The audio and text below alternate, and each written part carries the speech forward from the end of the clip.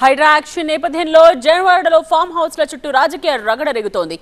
తనకు ఎలాంటి ఫామ్ హౌస్లు లేవని కేటీఆర్ వాదిస్తే కౌంటర్ ఇచ్చారు కేంద్ర సహాయ మంత్రి బండి సంజయ్. నాకంటూ ఏ ఫామ్ హౌజు లేదు. స్పష్టంగా చెప్తా ఉన్నా. నా మిత్రుడు ఒక ఆయనకి ఫామ్ హౌస్ ఉంటే నేను లీజ్ మీద తీసుకున్న మాట వాస్తవం. ఒక ఏడెనిమిదేళ్ళ నుంచి లీజ్ మీద ఉన్నమాట వాస్తవం. ఒకవేళ అది ఎఫ్టీఎల్లోనో బఫర్లోనో ఉంటే నా మిత్రుడికి నేను చెప్తా దగ్గర ఉండి అవసరం అయితే నేను కూడా పోయి ఎందుకంటే నేను లీజ్ మీద ఉన్నా కాబట్టి అక్కడే ఉండి నేను దగ్గరుండి కూలగొట్టించి వస్తా ఒకవేళ అందులో ఏమైనా తప్పు ఉంటే ఎఫ్టీఏలో బఫర్లో ఉంటే నేనే దగ్గరుండి కూలగొట్టించి వస్తా అమాయకుడు పాపం. మాట్లాడడానికి అకలు ఉండాలి. నకలు కొట్టడానికి అకలు ఉండాలంటారు. మాట్లాడడానికి ఉండాలి. ఈయన ఫామ్ హౌస్ కదా. ఈయన ఫామ్ హౌస్ డ్రోన్ వేయిందని రేవంత్ రెడ్డి మీద కేసు పెట్టి ఈయన ఫామ్ హౌస్ కదా.